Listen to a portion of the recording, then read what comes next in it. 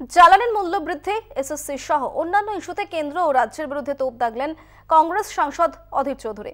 রাজ্যে যোগ্যতার মূল্যায়ন হয় না বলেও দাবি অধীরের। পাশাপাশি জ্ঞানব্যাপী ইস্যুতে কেন্দ্রকে তুলোধনা করেন কংগ্রেস সাংসদ। সাধারণ মানুষের ধরাছোঁয়ার বাইরে পেট্রোল ডিজেল ও রান্নার গ্যাসের দাম। কেন্দ্রীয় সরকার যুদ্ধের দোহাই দিয়ে দাম বাড়িয়েই চলেছে। যখন সংসার জীবন চালাতে হিমশিম খাচ্ছে গৃহিণীরা ঘরে ঘরে রান্নাঘরে একশো চুয়াল্লিশ ধারা কারফিউ জারি করতে চলেছে, তখন না কেন্দ্রের না রাজ্যের কোনো সরকারেরই দ্রব্যমূল্য বৃদ্ধি কমানোর জন্য কোনো মাথা ব্যথা নেই। কেন্দ্রের সরকার রাশিয়া ইউক্রেনের যুদ্ধের অজুহাত দিয়ে সারা ভারতবর্ষ জুড়ে জিনিসপত্রের দাম বাড়িয়ে চলেছে। ওষুধের দাম পেট্রোল ডিজেল রান্নার গ্যাস সব কিছুর দাম আজ মানুষের ধরাছোঁয়ার বাইরে চলে যাচ্ছে। একইভাবে জ্বালানি তেলের মূল্যবৃদ্ধি নিয়ে রাজ্য সরকারের সদর্থক ভূমিকা নেই বলে অভিযোগ প্রদেশ কংগ্রেস সভাপতি অধীর চৌধুরীর। যে মোদী সরকার গত আট বছরে সাতাশ লক্ষ কোটি টাকা রোজগার করেছে। কিন্তু পশ্চিমবঙ্গ সরকারও পেট্রোল ডিজেলের উপরে ভ্যাট বসিয়ে সে কিন্তু কখনো কামাতে ছাড়ছে না। সেখানে কোনো রেয়াত করছে না।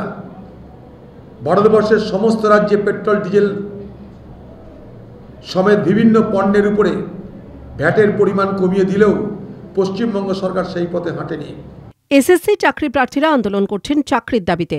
অবস্থান করছেন, প্রতিবাদ জানাচ্ছেন। তারা নিজেদের যোগ্যতায় পরীক্ষায় উত্তীর্ণ হলেও নিয়োগ হয়নি।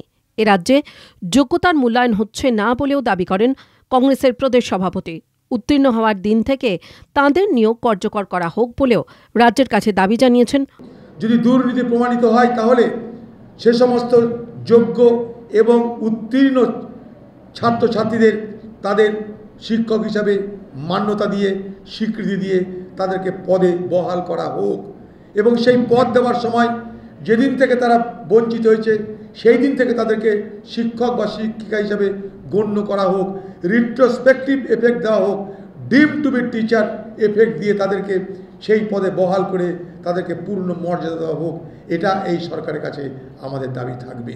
ধর্মের মর্যাদা নয় সাম্প্রদায়িক উত্তেজনা তৈরি করতে চাইছে মোদী সরকার। যখন আমেরিকার বিজ্ঞানীরা চাঁদে দীর্ঘদিন মানুষ থাকতে গেলে যাতে খাবারের সমস্যা না হয়, তার জন্য সবজি চাষের কথা ভাবছে। তখন এ ভারতবর্ষের বিজেপি অজুখানা থেকে জল বার করে দিয়ে সেখানে শিবলিঙ্গ খুঁজছে। অথচ বেরানসের যে কাশি করিডোর, নরেন্দ্র মোদী ক্ষমতা আসার পর যে কাশি করিডোর নির্মাণ হয়েছে, সেই কাশি করিডোর নির্মাণ করার সময় কত শত মন্দির সেখানে ভেঙে দেওয়া হয়েছে। এখানকার মানুষ একবার খোঁজ নিয়ে দেখতে পারেন। জ্ঞানবাপী মসজিদে শিবলিঙ্গ ইস্যুতে এভাবেই মোদীকে একহাত নেন অধীর চৌধুরী। মূল্যবৃদ্ধির প্রতিবাদে এবং জ্বালানি তেলের মূল্যবৃদ্ধির প্রতিবাদে সরব হয়েছিলেন অধীর চৌধুরী। আগামী দিনে সংসদের ভেতরেও কিন্তু সেই দাবিতেই সরব হবেন তিনি। ক্যামেরায় সুবীর সরকারের সঙ্গে সত্যসুন্দর ভট্টাচার্য কলকাতা টিভি।